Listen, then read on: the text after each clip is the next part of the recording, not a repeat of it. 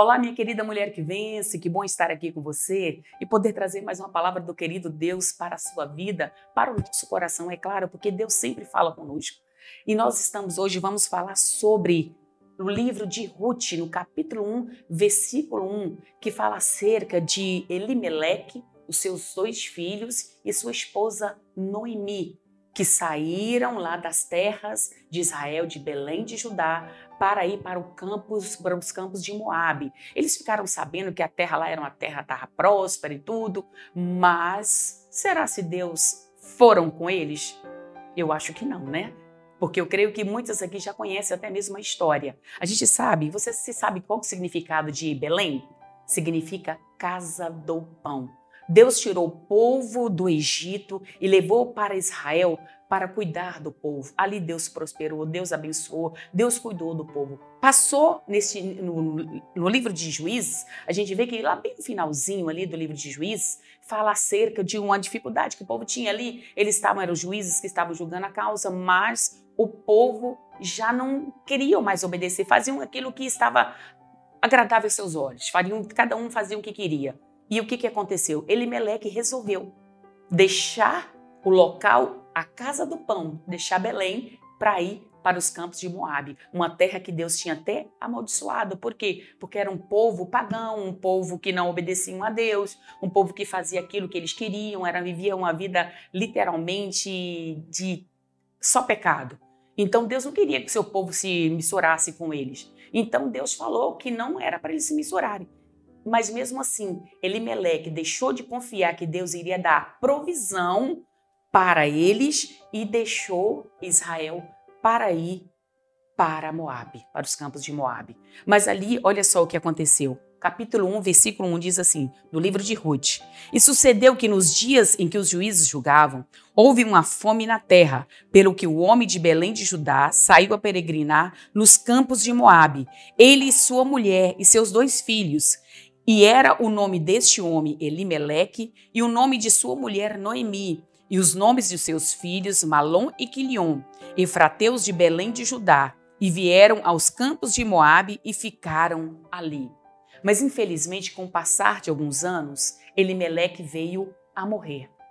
E também, logo depois, alguns anos depois, morreu os seus filhos e ficou somente Noemi. Será se isso foi algo que Deus queria que eles fizessem? Porque aqui no livro de Êxodo 33, no versículo 14, disse assim: Disse, pois, irá a minha presença contigo para te fazer descansar. Olha o que Deus disse aqui para Moisés. Quando a presença de Deus está conosco, ele traz o descanso. Ela traz o descanso, ela traz a paz, ela traz a alegria. E não foi assim com Elimeleque e com seus dois filhos e com a sua esposa Noemi. Lá eles tiveram que passar, passaram não fome, porque era uma terra que estava próspera, né? Tinha ali alimento, mas o que, que adianta tudo isso se não tiver a presença de Deus? Porque aonde Deus está, ele vai cumprir com a sua palavra. Porque se Deus tivesse falado com ele assim para ele ir, Deus iria com ele. Porque a gente tem que sempre buscar em Deus a direção, buscar em Deus a orientação do que devemos fazer. Igualmente você, minha querida, às vezes você quer escolher um marido para sua vida, não, mas é aquele homem da minha vida. Nossa, mas ele é lindo, maravilhoso, é o homem dos meus sonhos, é o meu príncipe encantado. E aí? Será se é a pessoa que Deus escolheu para sua vida? Será se é o que Deus quer para você? Presta atenção na escolha que você está fazendo, minha amada. Presta atenção na escolha que você está fazendo para o resto da sua vida. Será se isso vai trazer descanso para você? Preste atenção, porque muitas pessoas têm casado e têm sofrido.